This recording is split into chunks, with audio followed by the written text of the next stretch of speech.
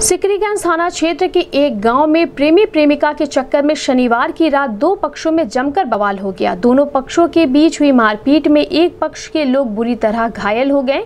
प्रेमी के भाई को गंभीर चोटें आई। इलाज के लिए परिवार वाले पहले जिला अस्पताल और फिर मेडिकल कॉलेज ले गए।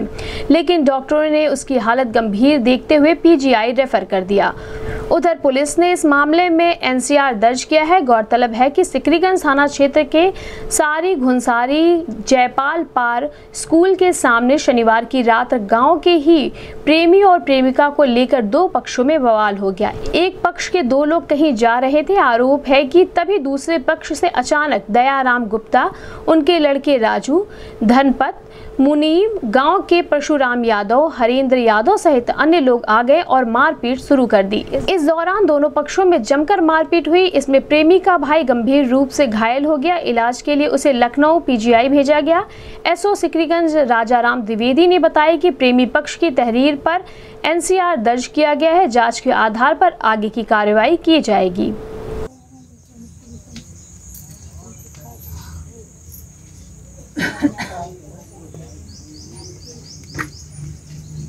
ठीक है। ठीक है। अच्छा मूलजी में पाँच नामजद है एक हथियार। ठीक है? पाँच नामजद है पाँच में चार तो वही है पिता पुत्र। एक कौन यादव है? परमवीर चौहान। मारे थे और उस, उसको भी मारे हैं उसका देखिए सर फटा है उस उस लड़के का देखिए।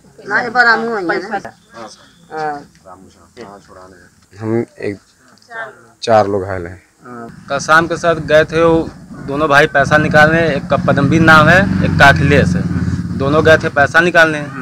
उसके बाद ग्रुपिंग करके वहाँ मारे हैं। तो एक पूरा खेत में फ़ील्ड में दौड़ा दौड़ा के मार रहे थे। वही इनके दूसरे पक्ष वाले दयाराम मुनीब और धनपत वो उन लोगों का स्कूल जो साथ में पढ़ते थे क्रिकेट उर्केट का मामला था। साथ में स्कूल स्कूल ऐसे लोग कर रहे थे। बाद में घेर वेर के ऐसे लोग चला रहे थे। तो बाद में इसको पा गए घर पे। तो घर पे मारे हैं। तो बाद में हम लोग यहाँ पे बैठे थे। उसके बाद वहाँ गए छुड़ाने के लिए। इन, इनके इनके पास पूरा सपोर्ट था। घर का आरा मशीन है। पूरा डंडा और लाठी से मारे हैं। किसको मारे हैं? इसको मारे हमको मारे हैं और एक मेरा छोटा भाई है जो गया था पैसा निकालने पीजीआई और सदर दो, वहाँ दोनों रेफर हो गया है पीजीआई में लखनऊ भर्ती है।